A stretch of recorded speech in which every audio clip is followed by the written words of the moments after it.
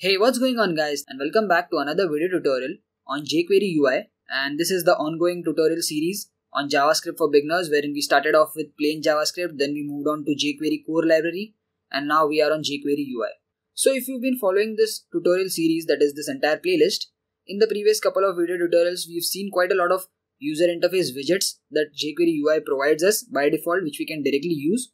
And you must have noticed that we are following a similar pattern that is we have inbuilt jQuery methods. So directly calling that one single method, we are able to generate that entire user interface. For example, we did accordion, we did datetime picker, we did that autocomplete message box. We also did a dialog or message box separately and so on, right? So there are quite a few more widgets, but they also follow the similar pattern, you know. So I'm not going to be covering all the widgets. So if you've noticed that trend that is creating the inbuilt methods, I'm pretty sure you can easily cover all the other widgets. So I'm not going to be covering all the widgets in this entire playlist because then that becomes very repetitive. So this is their official jQuery UI webpage and I'm going to drop the link in the video description and these are the widgets that they provide by default and you can go through each one of them and it will be just one line of code, the one method and that widget will be generated. For example, let's take a look at this tabs one which we have not yet covered. So if you see, if you go on this and you'll see the user interface this is how the tabs look like and if you just click on view source this is that source. So you can see a division id is given tabs. We have unordered list which actually is the title of the tabs. So this is that title. And then we have the divisions which have the individual paragraphs with their respective ids and those ids are linked over here in href. And in the script tag it's a very basic selector which selects this entire division of tabs. The id is given as tabs. And you just call a method tabs and that's that's about it. You can get this entire user interface. So this is something that we've been following for all the widgets right? So that's the reason why i'm not going to be covering all the widgets because again as i mentioned it will become repetitive. And if you followed the date picker if you've seen the accordion if you've seen the autocomplete we also saw the dialog box then pretty much all the other widgets are also the same. You just have to select that particular division or the input text box if you want a autocomplete thing or a date picker and then you just call the inbuilt method right? So you can visit this website. The documentation is fairly easy to understand. But my focus today in this video tutorial is i got a question that one of the user was asking me that yes we can easily create this user interfaces just by one single method right? Inbuilt method. But what if we want to change the options or change the customizations afterwards later in the code depending on one particular event? For example Let's actually go to the code and I'll try to explain to you what exactly the question was. Okay, so coming to the code, let me just explain this output. I have added a button. We have a heading tag. I have created a calendar control. I have created an accordion over here. And you can see this is a message box also.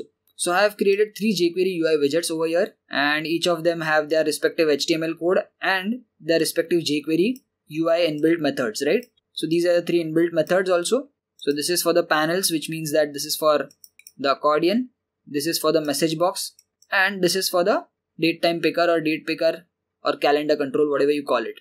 Now the question arises is what if you want to change something?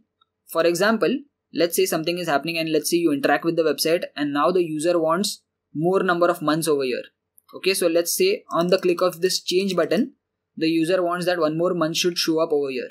Right now we have created this entire date picker with number of months as 1 what if you want to change it dynamically afterwards, right? After the initialization. So this was that question asked and I thought that this should be answered.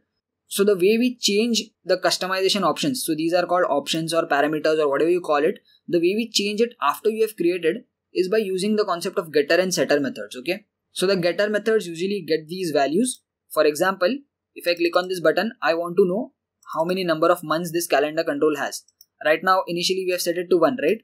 So let's say on the click of this button, we want a alert box to show up and we want to see this number value 1.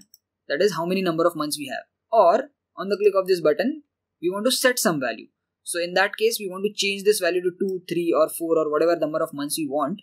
And that goes to getter method. Okay, so we have individual setter and getter methods for all these different jQuery UI widgets. And that's how dynamically you can change it later in time in the code. Okay, so what I'm going to do is I'm going to quickly create a click event for this change button.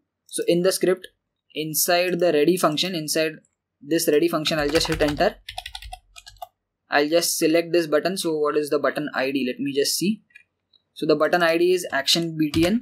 so here i'm gonna say dollar hash action btn that's how you use the selectors i'm gonna say dot click inside i'm gonna say function and now here i'll just put a alert just for testing purpose so let's click on the button and there you go our alert is working. Okay so now the idea is first we want to know what is the height of this message box. Okay so this is that custom message box and we have the height as 300 we have the width as 300 right?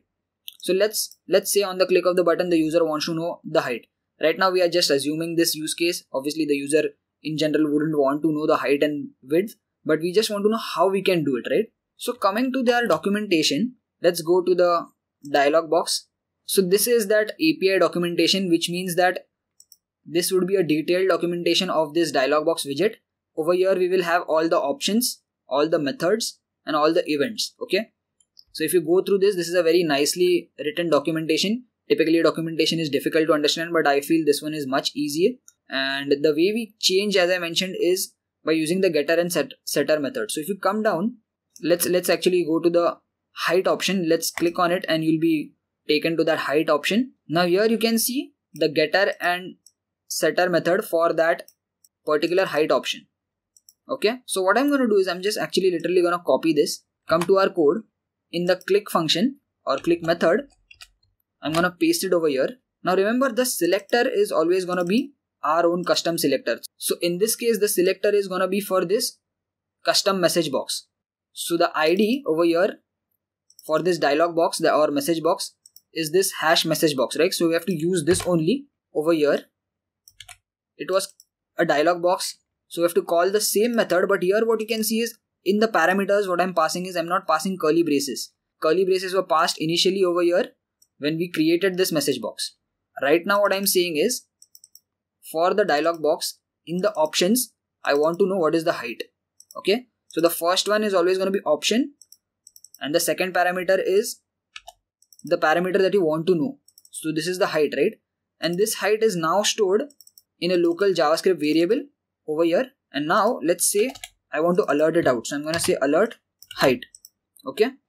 So this was basically we using getter method okay? Getter method is used to fetch some information from the existing user interface or UI modules. So now if I click on change, there you go, you can see I'm getting the height as 300. So I hope you are understanding this. Now let's say you want to increase this height, okay? Increase this height to 500 pixels. So in this case, you have to use the setter method. So let's go to the documentation again.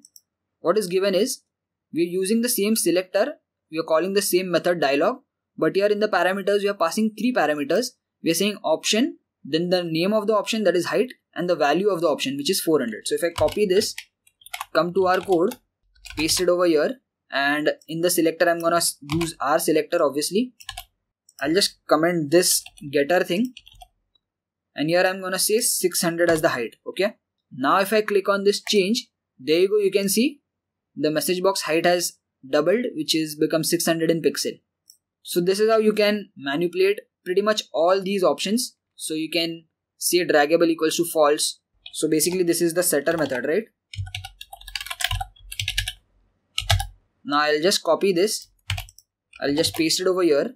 Now what I'm going to do is I'm going to say option, but in the option I'm going to say draggable.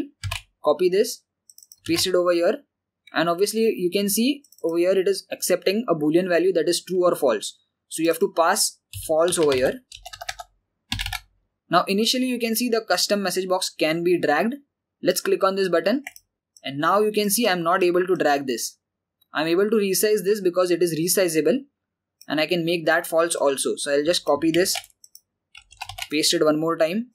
Just use this option name, pass this option name and make it false.